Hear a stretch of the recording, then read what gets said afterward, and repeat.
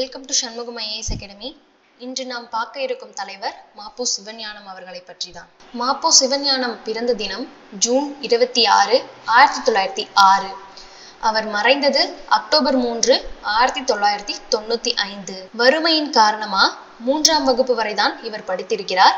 ஆயிரத்தி தொள்ளாயிரத்தி இருபத்தி ஏழுல தமிழ்நாடு நாளிதழ் அச்சு கோப்பாளராக வேலைக்கு சேர்ந்தார். அங்கே அவர் அறிய நேர்ந்த விடுதலை போராட்டம் பற்றிய செய்திகள் அவருக்குள் சுதந்திர வேள்வியை எழுப்பின. இதனால் பலமுறை சிறை சென்றிருக்கிறார். சிறையில தமிழ் இலக்கியங்களை கற்று தமிழ் புலமைய மேம்படுத்தி கொண்டார். சிலம்பு செல்வர் என பெயர் வர காரணம் மாப்போசி தான் எழுதிய கப்பலோட்டிய தமிழன் என்னும் நூலை தன் நண்பர் அச்சகத்தில் எழுத்து எழுத்தாக கோர்த்து அச்சிட்டார். கப்பலோட்டிய தமிழன் வஉசியும் வீரபாண்டிய கட்டபொம்மனும் மாப்பூசியின் எழுத்து மூலமே தமிழ் சமூகத்துக்கு அறிமுகமானார்கள். ஆயிரத்தி தொள்ளாயிரத்தி அறுபத்தி ரெண்டு நைன்டீன் சிக்ஸ்டி டூல மாப்போசி எழுதிய வள்ளலார் கண்ட ஒருமைப்பாடு என்னும் நூலுக்கு சாகித்ய அகாதமி விருது வழங்கப்பட்டது. இவருடைய விடுதலை போரில் தமிழகம் என்னும் நூலே இந்திய விடுதலை போரில் தமிழர்கள் ஆற்றிய பங்கை எடுத்துரைத்த முதல் நூலாகும். சிலப்பதிகாரத்தை உலகறிய செய்ய வேண்டும் என்கிற வேட்கையில சிலப்பதிகார மாநாடுகள் பல நடத்தினார் இவர். சிலம்பின் மேல் இவர் கொண்டிருந்த பற்று அறிந்த ராப்பே சேதுபிள்ளை நாகர்கோவில்ல நடந்த எழுத்தாளர் மாநாட்டுல சிலம்பு செல்வர் என்னும் பட்டத்தை மாப்போசிக்கு வழங்கினார். மாப்போசிக்கு சிலம்பு செல்வர் என்னும் பட்டத்தை வழங்கியவர் ராப்பே சேதுபிள்ளை ஆவார். தமிழரசு கழகம். ஆயிரத்தி தொள்ளாயிரத்தி நாற்பத்தி ஆறில் தமிழரசு கழகம் என்ற இயக்கத்தை மாப்போசி தொடங்கினார். சென்னை மாகாணத்திலிருந்து ஆந்திராவை பிரிச்சு தனி ஆந்திர மாநிலம் அமைக்க மத்திய அரசு முடிவு செஞ்சப்போ சென்னை நகரம் தங்களுக்கு வேண்டும் என்று ஆந்திர மக்கள் கோரினார்கள். மதராஸ் மனதே என்று ஆந்திரர்கள் எழுப்பிய இந்த குரலுக்கு தலையை கொடுத்தேனும் தலைநகரை காப்போம் என்று வீர முழக்கம் எழுப்பியவர் மாபோசி ஆவார். ஒரு கட்டத்துல சென்னைய பொது தலைநகரமாக ஆக்கலாம் இல்லனா இரண்டா பிரிக்கலாம் என்று கூட மத்திய அரசு நினைச்சது. சென்னை நகரம் மீது தமிழர்களுக்கு உள்ள உரிமையை வலியுறுத்தி அன்றைய மத்திய உள்துறை அமைச்சர் லால் பகதூர் சாஸ்திரிக்கு தந்திகள் அனுப்பும் இயக்கத்தை மாபோசி நடத்தினார்.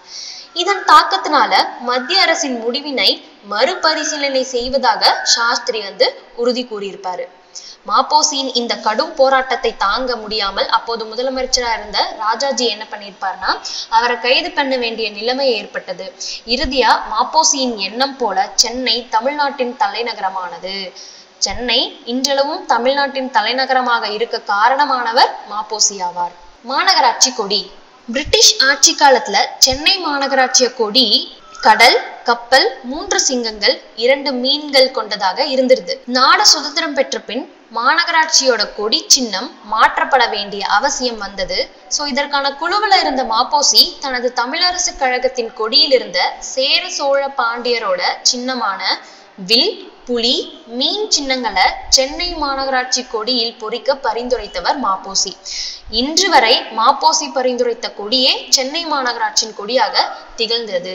அடுத்து மாப்போசியோட தீவிரமான திருத்தணி எல்லை போராட்டத்தோட விளைவாதான் திருப்பதி போன்று திருத்தணியும் ஆந்திரர்கள் கிட்ட ஆளுமை சென்று விடாமல் தடுத்து தமிழகத்தோடு இணைக்கப்பட்டது. இவரோட முழு போராட்டத்தினாலதான் இப்போ திருத்தணி தமிழ்நாடோடு இருக்கு. சென்னை மாகாணத்துக்கு தமிழ்நாடு என்று பெயர் சூட்டப்பட வேண்டும் என்று முதல் குரல் எழுப்பியவர் மாப்போசியே ஆவார். சென்னை மாகாணத்துக்கு தமிழ்நாடு என்று பெயர் மாற்றப்பட முதல் குரல் எழுப்பியவர் மாப்போசி இருபத்தி ஒன்பது பதினொன்னு ஆயிரத்தி தொள்ளாயிரத்தி ஐம்பத்தி அஞ்சுல தனது தமிழரசு கழக செயற்கைக்குழு கூட்டத்துல முதல் முதல்ல மாப்போசி தான் தமிழ் மக்கள் வாழும் பிரதேசத்தை மெட்ராஸ் ஸ்டேட் என்றழைக்கப்படுவதை எதிர்க்கிறோம் தமிழ்நாடு என்று பெயரிடப்பட வேண்டும் என்ற தீர்மானத்தை நிறைவேற்றினார். மாப்போசி வந்து நைன்டீன் சிக்ஸ்டி செவன்ல இருந்து நைன்டீன் செவன்டி ஒன் காலகட்டத்துல சட்டமன்ற மேலவை துணைத் தலைவரா பணியாற்றி இருந்திருப்பாரு அந்த சமயம் சென்னை மாகாணம் தமிழ்நாடு என பெயர் மாற்றம் பெற்றது. ஸோ இது தொடர்பா ஒரு சின்ன சிக்கல் வந்து இருந்தது. என்ன சிக்கல் அப்படின்னு பார்த்தீங்கன்னா தமிழ்நாடை வந்து இங்கிலீஷில் எப்படி ப்ரொனவுன்ஸ் பண்ணுறது அப்படின்றது தான் அதாவது வட இந்தியர்களுக்கு லகர உச்சரிப்பு வராத என்பதனால தமிழ்நாடு என்பதை ஆங்கிலத்தில் தமிழ்நாடு. ஓகேவா அதாவது தமிழ்நாடு. அப்படின்னு உச்சரிப்புக்கு வசதியா மாற்ற ராஜாஜி வந்து திமுக அமைச்சரவைக்கு ஆலோசனை தந்திருப்பாரு. இதையும் ஏற்றுக்கொள்வதாக அண்ணா வந்து முடிவெடுத்த போது மாப்போசி அதை எதிர்த்தார். தமிழின் அழகிய ஓசையை மாற்ற எதிர்ப்பு தெரிவித்து அதே போல் நாடு என்பது என்ஏடியு நாடு என்ற ஆங்கிலத்தில் இடம்பெற வேண்டும் அப்படின்னு வாதிட்டார்.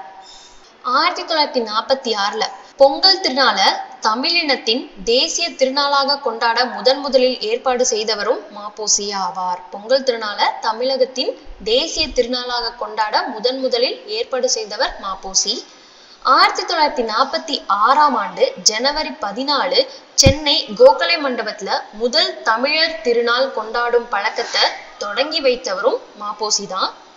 நைன்டீன் செவன்டி டூ ஆண்டு மத்திய அரசு அவரது பொது உடைமையை பாராட்டி பத்மஸ்ரீ விருதை வந்து வழங்கி கௌரவித்தது. இது தவிர சென்னை பல்கலைக்கழகம் மற்றும் அண்ணா பல்கலைக்கழகத்திலிருந்து டாக்டர் பட்டமும் நிறைய பெற்றிருந்திருப்பாரு.